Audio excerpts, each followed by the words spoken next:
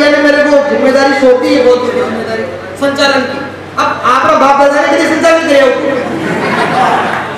वहाँ तो मतलब ऐसी बड़ी ज़िम्मेदारी। और फिर चलो ठीक है, संचालन की। और फिर जहाँ हिमालय पर्वत बैठे हो मंचों पर, और उनके सामने एक छोटे से कण को आप संचालन देते हो। इस बात के लिए मेरी सात पीढ़ियाँ कुलदीप भैया की आभारी रहेंगी। क्योंकि इन्होंने जो आज मेरे साथ किए मैं इनसे बाद में मिलूँगा। जो भी करना है। ऐसे ऐसे कौन आराम करवाता है मैं कार्यक्रम को साथ गति प्रदान करता हूँ और जितनी मार्मिक रचना, अभी प्रवीण भाई ने पढ़ी, अब उस पर से हम सीधा माधुर्य और श्रृंगार की ओर बढ़ते हैं। साहब, प्रेम करना अपने आप में एक अद्भुत विषय प्रेम भारत में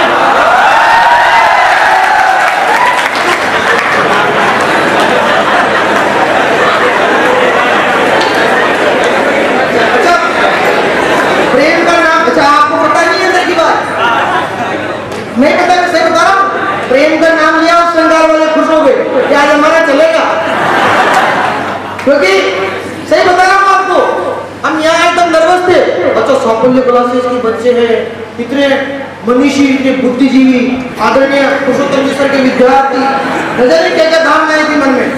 और फिर सारे शिक्षक की तैयारी कर रहे शिक्षक अच्छा ऐसे बता रहा हूँ मैं सर बीएड करने के बाद लगभग आदमी का एक धर्म हो जाता है रीट की तैयारी करना नहीं सही बता- मुझे तो एक लड़की ने कह दिया कि मेरे इश्क में फना हो जाओ मुझे अब प्रेम कर सकते हैं लोग आप जैसे लोग कर सकते हो प्रेम के बारे में आप जानते हो इन जैसे लोग कर सकते हैं अब हमारे जैसे बुद्धू लोग क्या करें हमें तो एक लड़की ने कह दिया मेरे इश्क में फना हो जाओ मेरे इश्क में फना हो जाओ मैंने कहा रीट की बत्ती आ रही है दफ़ा हो? जाओ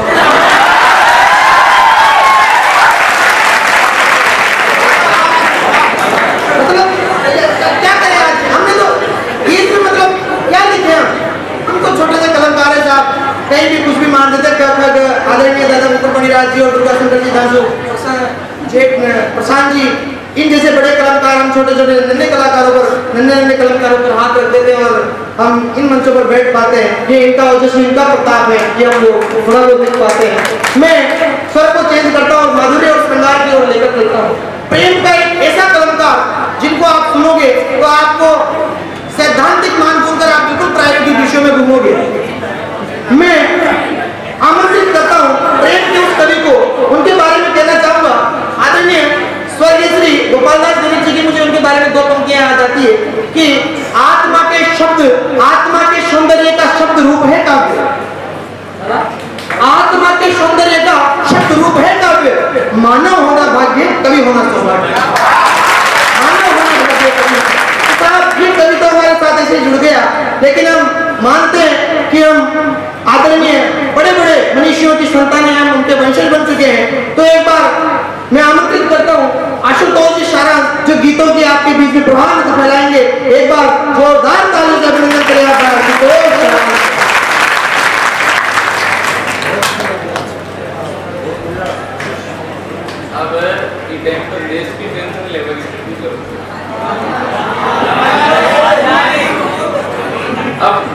दूसरी टेंशन लो एक बार मुझे हमें की स्थिति आई सर्वप्रथम मंच को नमन करता हूँ. सभी वरिष्ठ कवियों को सभी आदरणीय लोगों को सबको नमन करता हूँ. तो प्रिय अजीत भाई साहब बात कर रहे थे कि सफल क्लासेस के बच्चे। मुझे एक साल पढ़े तो एक साल पढ़ा हुआ है मैंने यहाँ पे और मैं जानता हूँ। पीड़ित हो। बिल्कुल पीड़ित।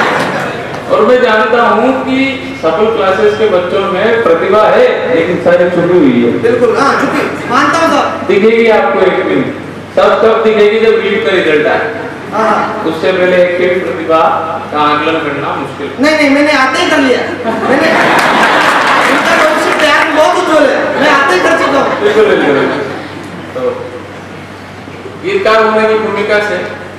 सर्वप्रथम मैं आपके समक्ष वो पंक्तियाँ रखना चाहता हूँ जो एक लेखक के मन को दर्शाती है कि किस तरह व्यक्ति अपने जीवन के अनुभवों को कविताओं में गीतों में गजलों में एक राह पर हम चल दिए हैं। मात्र ये घनघोर तम संग में सतत और है अनश्वर। मात्र ये घनघोर तम संग में सतत और है अनश्वर पर तुम्हारा ध्यान पाकर हम दिए से जल दिए हैं। क्या बात है? क्या लेके हैं भाई एक बार पर तुम्हारा ध्यान पाकर मात्र ये घनघोर तम संग में सतत और है अनश्वर पर तुम्हारा ध्यान पाकर हम दिए से जल दिए हैं। इस तरह खुद को तेरा आसक्त करते जा रहे हैं। हर कदम पर हम तुम्हें अभिव्यक्त करते जा रहे हैं।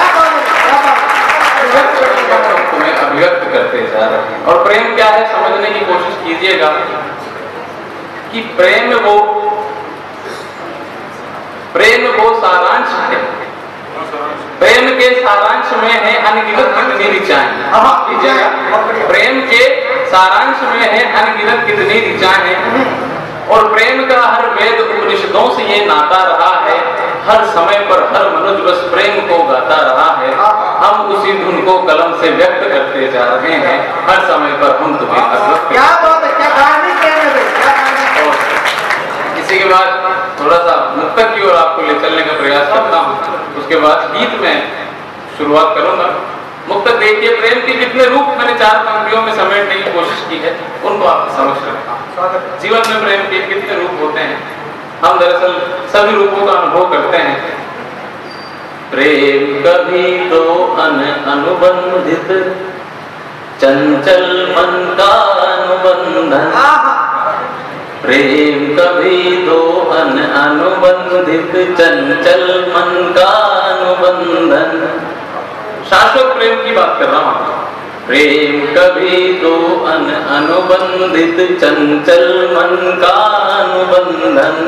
प्रेम कभी निर्मल कोमल एहसासों से शोभित चंदन।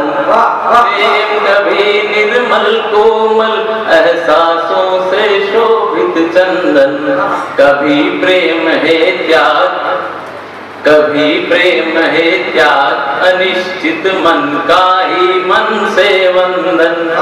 प्रेम कभी मीरा का पत्थर के मोहन संग इस बंधन। प्रेम कभी मीरा का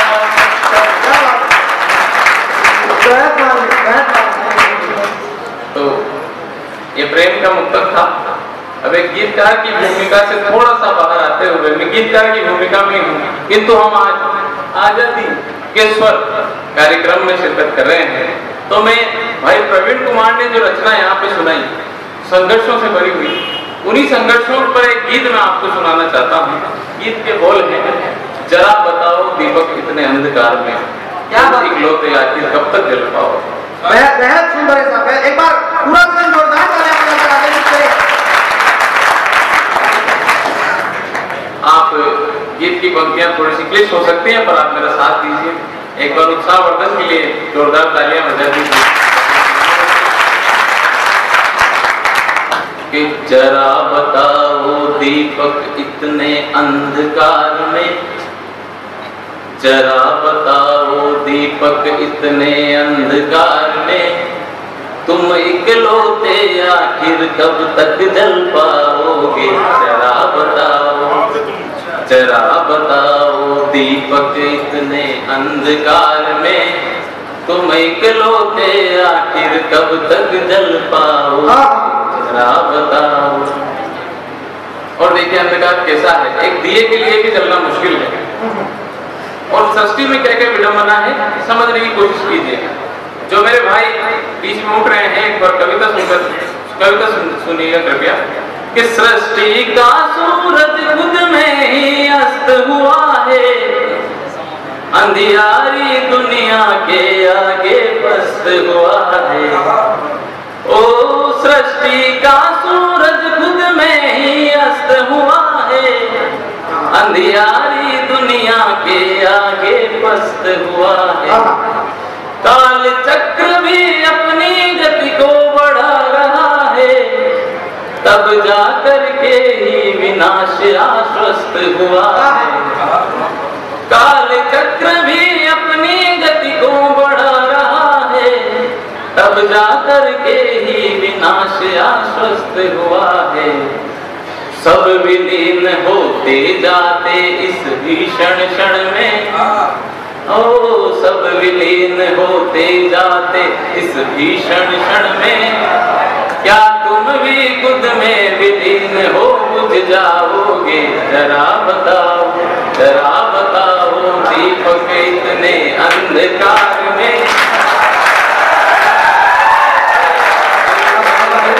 पाओगे, जरा बताओ। और एक मनुष्य को जीवन में आप जो नीट की तैयारी कर रहे हो ये जीवन की सबसे बड़ी आपकी एक तरीके की संघर्ष है इसमें आप कदम दर कदम हारते भी हो जीतते भी हो लेकिन आपका मनोबल जो है वो जो टूटता नहीं है वही आपको आगे बढ़ाता है। तो क्या क्या कठिनाइयाँ आती हैं अपने जीवन में संघर्षों में? संघर्ष क्या आते हैं? अगले बंद में उनको मांगने का प्रयास किया है।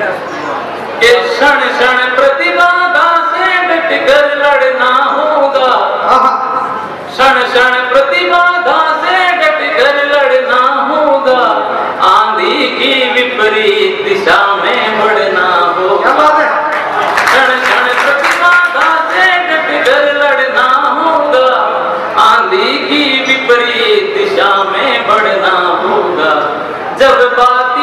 दीपक की बाती।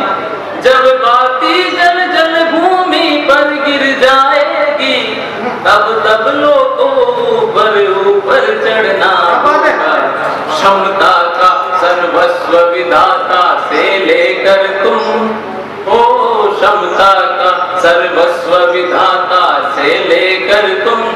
क्या अपना वर्चस्व बचा कर दिखलाओ? जरा बताओ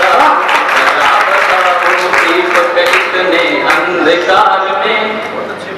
तुम इकलौते आखिर कब तक जल पाओगे? जरा बताओ। और आखिरी बंद में गीत का आपके सामने रखता हूँ उसके बाद अपना स्थान कृपया ध्यान दीजिएगा इस गीत के आखिरी बंद में। गीत का मर्म होता है उसको आपके समक्ष रखने का प्रयास करता हूँ। जब व्यक्ति अपने जीवन में संघर्षों से जीत जाता है ये गीत मैं खुद भी बहुत बार गुनगुनाता हूँ, क्योंकि जब भी मैं इस गीत गीत को गुनगुनाता हूँ, ये मुझे खुद को प्रेरणा देता है। उसी भाव से मैं आपके समक्ष इस गीत को रख रहा हूँ। जब व्यक्ति अपने जीवन में संघर्षों के माध्यम से संघर्षों से लड़कर जूझकर सफल हो जाता है तो उसके बाद का क्या भाव होता है?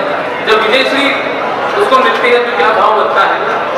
कि विजय द्वार पर जब तेरा अभिवादन होगा, साक्षी सारा विजय द्वार पर जब तेरा अभिवादन होगा, साक्षी सारा वन पर्वत और उपवन होगा। धरती सप्त सुरों का योग बनाएगी फिर, नव प्रसन्नता से शोभित नभ का मन होगा। जीवन का निर्धारित क्षण वह कैसा होगा? जिस क्षण तुम जीवन में फिर जीवन पाओगे, जरा बताओ जरा बताओ जीवन में, तुम इकलौते